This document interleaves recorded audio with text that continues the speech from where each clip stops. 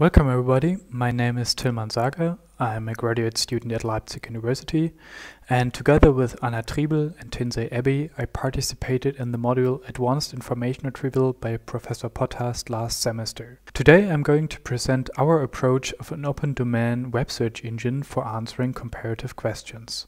Answering questions like what is better, black tea, green tea or coffee is still a challenge for search engines like Google or DuckDuckGo. Often they only reference to question answer pages like Quora.com or Debate.com. A search engine for comparative questions has to extract the comparative relation of entities from the user query, identify diverse and unique arguments which refer to the user query, and verify the credibility of the web document.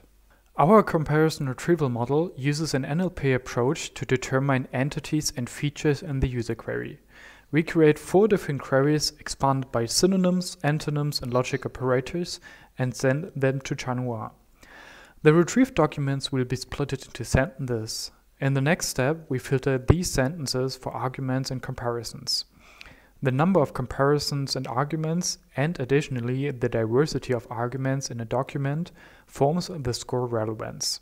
To determine the support score, we form candidates from the previous filtered sentences and look for evidence-based structures and sentiment and semantic similarities.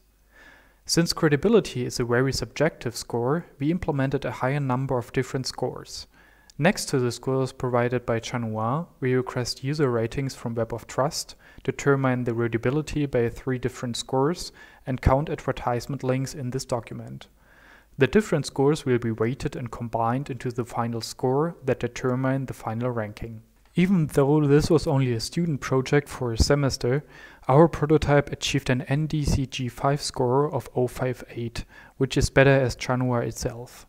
It seems that our approach of combining different techniques and scores leads to better results than relying on a single one, but can be seen as one of many possibilities that should be further explored. Thank you very much for your attention and I hope you enjoyed this talk.